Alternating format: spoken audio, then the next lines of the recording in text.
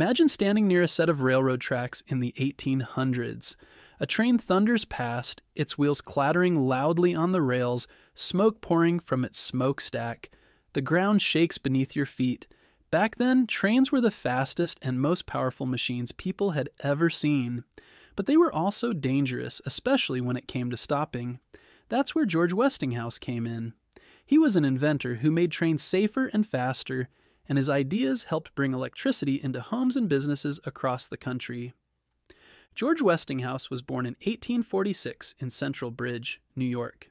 His father owned a small machine shop, and from a young age, George loved working with tools and engines. He was curious about how things worked and always wanted to build better machines.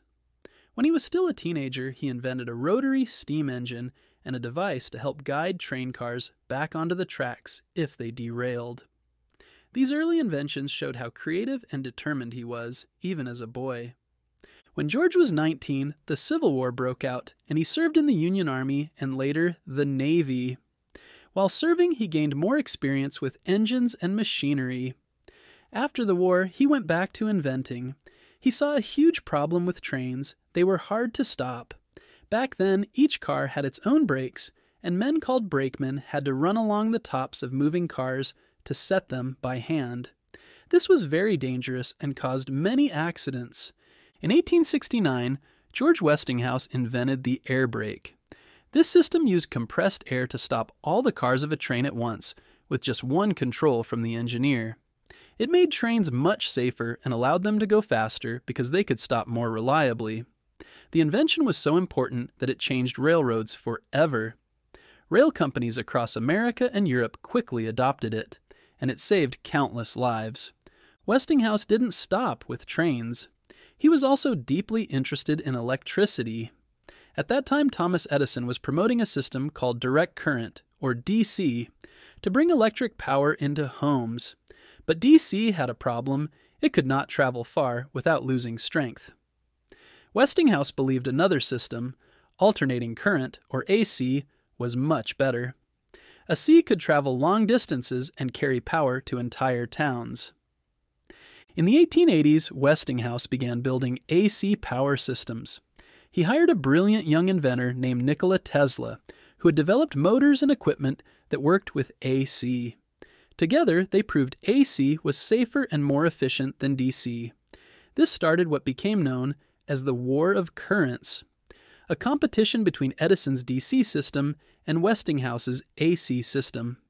In the end, AC won, and it became the standard for electricity around the world. Thanks to Westinghouse, people could light their homes, power factories, and use electricity in ways that shaped modern life. One of the biggest successes for Westinghouse's AC system came in 1893 at the World's Fair in Chicago. Westinghouse won the contract to light up the entire fair with AC power. Millions of visitors saw the glowing lights and were amazed at what electricity could do. Soon after, Westinghouse also helped build the power plant at Niagara Falls, which supplied electricity to Buffalo, New York. This showed that whole cities could be powered by AC. Westinghouse was not just an inventor, but also a businessman who treated his workers fairly. He believed in giving his employees reasonable hours, good pay, and even time off, ideas that were unusual at the time. People respected him for caring about safety and fairness as much as profit. By the time he died in 1914, George Westinghouse had over 300 patents. His air brake revolutionized railroads, and his support of AC power helped bring electricity to millions of people. Today, whenever a train stops safely, or a city lights up at night, it's partly because of his ideas. George Westinghouse's story is about curiosity, safety, and vision. He saw problems in the world, worked hard to solve them, and made life better for countless people.